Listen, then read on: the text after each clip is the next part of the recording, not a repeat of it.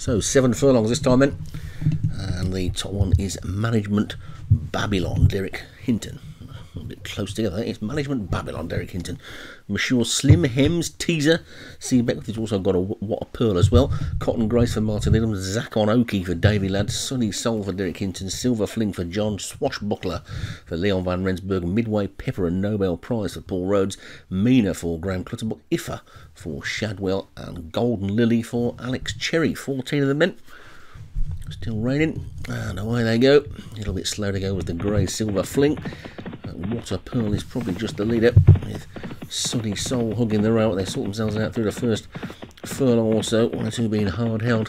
One at the back there, teaser pulling for its head. The jockey's restraining it at the moment. And all that keen to go on, it would seem, although that slow starting grey silver fling has now burst through to be the overall leader. So Silver Flinging is then in front from Midway Pepper in second, then Nobel Prize is third. Cotton Grace is also close up.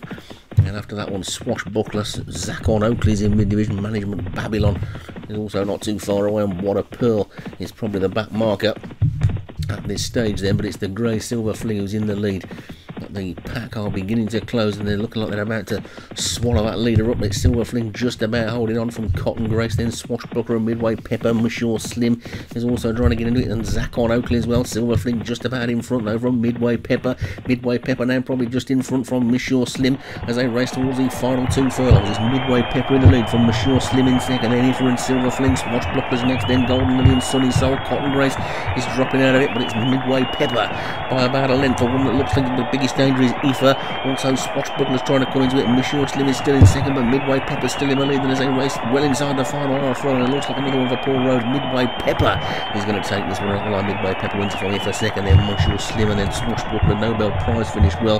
Golden Lily never got into the race at all. And it's a situation normal SO7 as in SO6 the professor seems to have cracked the code he's got it sorted out. Do so well in the first set of trials, but he's making up for it in these ones. And Midway Pepper takes it for Paul Rhodes. Iffa for Shadwell is second. Monsieur Slim for Hems is third. And Swashbuckler for Leon Van Rensburg is fourth. And Teaser for C. Beckwith was fifth.